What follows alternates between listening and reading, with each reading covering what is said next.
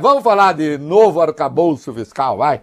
Apesar de o presidente da Câmara, Arthur Lira, ter afirmado que a votação do novo arcabouço fiscal só será realizada na casa após os parlamentares finalizarem o debate da lei do CARF, o Conselho Administrativo de Recursos Fiscais, as coisas mudam muito rápido no Congresso. A informação mais recente da nossa reportagem de Brasília é que essa discussão do CARF pode agora ficar para agosto, votando a reforma tributária amanhã, o arcabouço na sexta-feira e podendo o CARF ficar só agora para depois do recesso parlamentar. Esse texto que estabelece as novas regras fiscais, o arcabouço, voltou para o debate depois dos senadores realizarem algumas mudanças. O PL do CARF tem trancado a pauta da Câmara, mas enfrenta ainda algumas resistências entre os partidos, Reinaldo.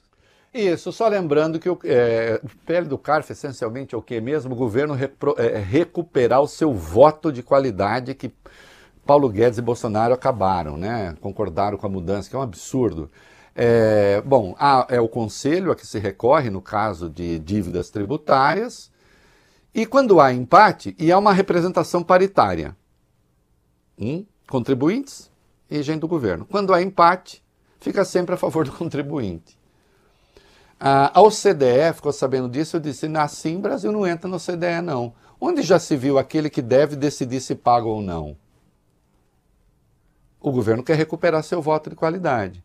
E aí está discutindo como. Então, renegociar, diminuir dívida, diminuir multa, está tendo um processo de negociação. Eu acho que faz bem deixar para depois, porque ficou tudo concentrado agora, muita coisa para votar ao mesmo tempo. Reforma tributária, mais o arcabouço fiscal, mais o CARF. Deixa para depois. Não é?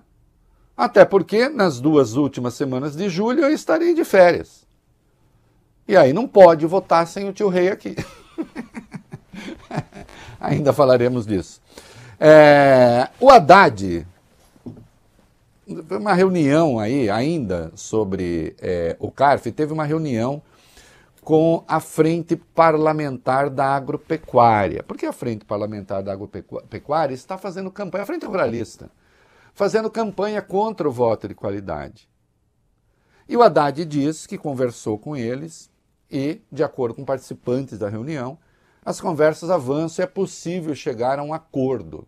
É bom que chegue a um acordo, porque se há coisa neste governo que está tendo atenção absurda, especial, é que é o que?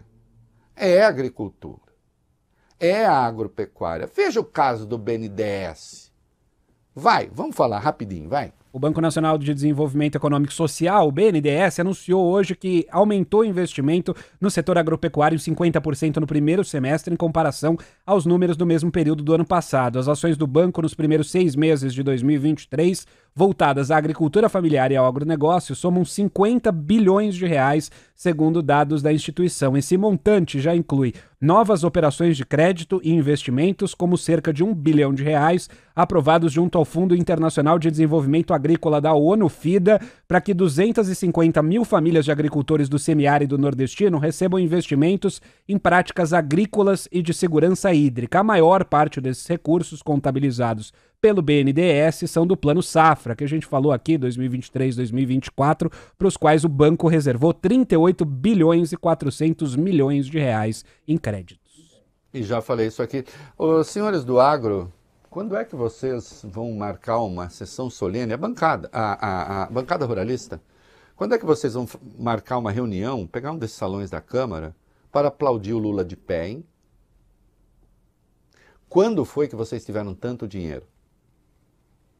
O Ronaldo Caiado, eu discordo dele de um monte de coisa. Aliás, ele está contra a reforma tributária, porque eu saiba, é o único governador contra. Não interessa, ele tem as posições dele. Agora, costuma ser uma pessoa correta, mesmo com todas as divergências que eu tenho. E ele reconheceu. Nunca houve um governo que investiu tanto. Tanto é que no dia 28 de julho ele recebe o Lula em Goiânia lá para se encontrar com mais de 200 empresários do agro.